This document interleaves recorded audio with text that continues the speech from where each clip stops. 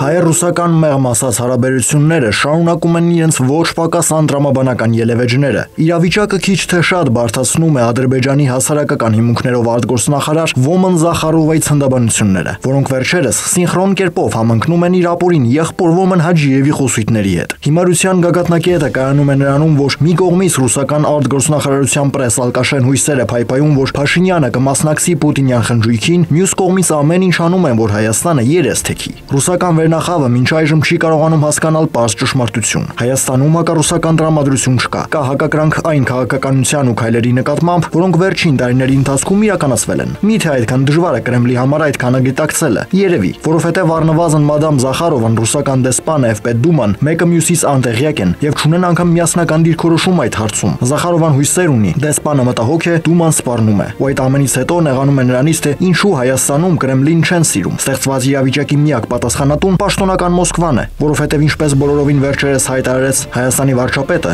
այդ Ռուսաստանի նախագահն է առաջինը հայտարարել, որ Լեռնային Ղարաբաղն Ադրբեջանի մաս է։ Ընդ որում Պուտինը դրանով Փաշինյանի գնահատմամբ փաստացի հակասել է նոյեմբերի 9-ի Երակոմ հայտարարությանը։ Ի պատասխան Լավրովյան պրեսալկաշեն նշել էր, թե ռուսական կողմը հույս ունի, որ Հայաստանի վարչապետը կժամանի Պետերբուրգ, ԱՊՀ ոչ պաշտոնական գագաթնաժողովին եւ Մոսկվայի հետ բոլոր հարցերը կառուցողական եղանակով կքննարկվեն ու կլուծվեն։ Լավատեսությունը մեղմ ասած կեղծավոր է, որովհետև համաձայնեք, որ Տիգին Մարգոյի եւ նրա կողակից Քյոսյանի հակահայկական քարոշչամեքենաներից մեկի շարժիչի ժամանակավոր դաթարը կատաղեցրել է պարոն Կոպիրկինին, ով շարունակում է զգուշավոր կերպով կծել Հայաստանին, նշելով, որ ըստ իր տեղեկությունների հապկից Հայաստանի դուրս գալու հարցը ներկայումս օրակարգում չկա։ Ֆիքսենք ներկայումս։ Այդ ձևակերպումը առնվազն հետաքրքիր է, որովհետև համաձայնեք շարժե ժամանակ վատնել բուտաֆոր կազմակերպությունում եւ դա այն պարագայում, երբ ռուս խաղապահ կոչվածներն իբր արցախցիներին տարածաշրջան վերադարձնելու հնարավորության երաշխավորն են։ Թանել չէ փրթած մացում։ Ռուսական գենշտաբը ոչ միայն հպարտ-հպարտ նշում է, որ սեպտեմբերին ռուս խաղապահների միջնորդական ջանքերի շնորհիվ 24 ժամվա ընթացքում ձեռք բերվեց հրադադար, իսկ թե ինչ էր կատարվում այդ ժամանակ, կարծում ենք կրկնել անվելորթը, այլ նաև հայտարարում են, թե զորախումբը ոչ միայն շարունակելու է առաջադրանքներ իրականացնել, որպեսի խաղաղ կյանք կառուցվի, այլ իր դերն է ունենալու խաղաղության շուրջ բանակցություններում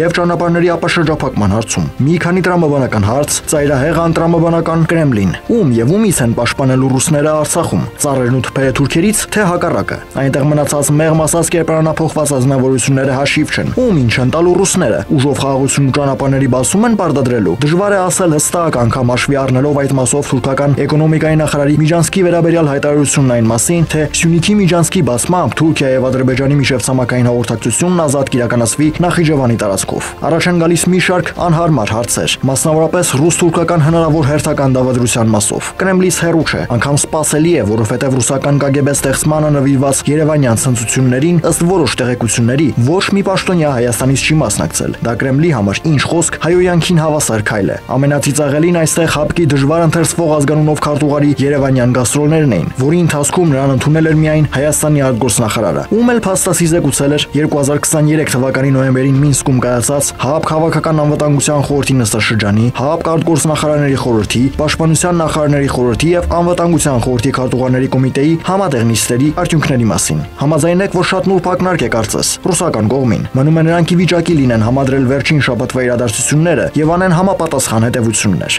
Եվ որպես հետգրություն Հատկանշական է, որ վերենշված Թուրքիայի էկոնոմիկայի նախարարի հայտարարությունը իրականում իր մեջ լուրջ մեսիջներ է պարունակում։ Նախ ընդունենք, որ Թուրքիայի ցանկացած դրամաչափի պաշտոնյա մեծ եղբայր է Ալիևի համար, եւ մինչ Ալիևը այստեղ ու այնտեղ հայտարարում է, թե իրենք իրենց Միջանսկը, որը կկապի Նախիջևանը Ադրբեջանին, կառուցելու են Իրանի տարածքում, Թուրքիայի նախարարը հերքում է Ալիևին, խոսելով Սյունիքի Միջանսկի մասին։ Եվ հիշեցնենք, որ պաշտոնական Վաշինգտոնը երկու շաբաթ առաջ հայտարարել էր, թե Իրանի տարածքով Միջանսկ չի լինելու եւ որ Միջանսկը լինելու է միմիայն Հայաստանի տարածքով։ Իսկ հիմա հիշենք, թե ինչ էր հոխորտում Ալիևը, երբ ասում էր իր հայտնի ելույթի ժամանակ, որ ինչ կարող է անել Միացյալ Նահանգները, հոչի ռմբակոծելու Նախիջևան Ադրբեջան միջանցքը։ Ստացվեց, որ ամերիկյան դիվանագիտական ծանր հրետանին կարողացավ ռմբակոծի եւ Թուրքիայի նախարարի հայտարարությունը դարձավ դրա ապացույցը։ Այսպիսով Կրեմլը կրկին հայտնվում է խաղից դուրս վիճակում։ Ու թերևս հենց այդ պատճառով Մարգո Սիմոնյանը իբր սրտնեղված ռուսական ռադիոյի հերարցակման կասեցումից գրել էր իր Facebook-յան էջում, թե տեսեք, տեսեք, FND-ին զայրացել է։ Տիկնոջը թերևս պետք է հուշել, որ FND-ին գտնվում է իրենց բնակարանում Տիգրան Քյոսեյան ազգանունով, իսկ Հայաստանի պարագայում, այո, բազմաթիվ պարոններ